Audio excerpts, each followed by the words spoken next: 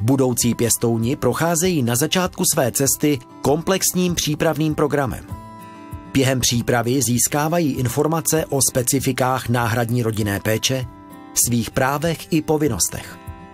Absolvují ale také odborné semináře a sdílejí vzájemně své obavy, představy a zkušenosti. Pěstouni získají během přípravy řadu důležitých informací, ale také praktických dovedností, které jim potom umožní adekvátním způsobem reagovat na specifické potřeby dětí. Příprava pro nás byla přínosem. Spoustu věcí jsme si v ní ujasnili. Zjistili jsme, kam a na koho se v případě komplikací obrátit. I díky přípravě jsme získali spoustu nových přátel, se kterými jsme v kontaktu. Přípravy žadatelů o náhradní rodinnou péči probíhají v Moravskosleském kraji v některé ze šesti poboček Centra psychologické pomoci. Žadatelé o pěstonskou péči a osvojení absolvují komplexní program v rozsahu 48 hodin. Budoucí pěstouni na přechodnou dobu pak v rozsahu 72 hodin. Přípravy jsou vedeny velmi interaktivně a prožitkově.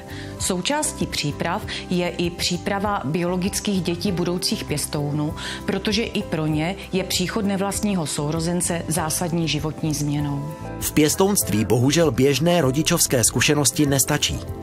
Trauma, které si děti prožily, vyžaduje od pěstounů schopnost být dětem terapeutem.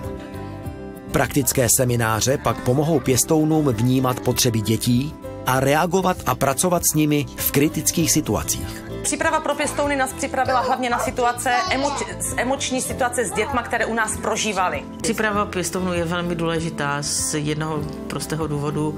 Eh, člověk, který v té oblasti vůbec nikdy nepracoval a nebyl, nemá ponětí o tom, čím vším děti procházejí a jaké následky to na nich nechává. Celá příprava nám konkrétně pomohla strašně moc. Eh, vlastně bez nadsázky čerpáme z ní do dneška.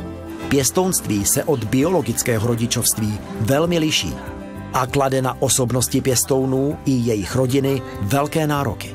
Podporujme proto pěstouny. Jejich péče je šancí pro děti, které nemohou vyrůstat ve své rodině.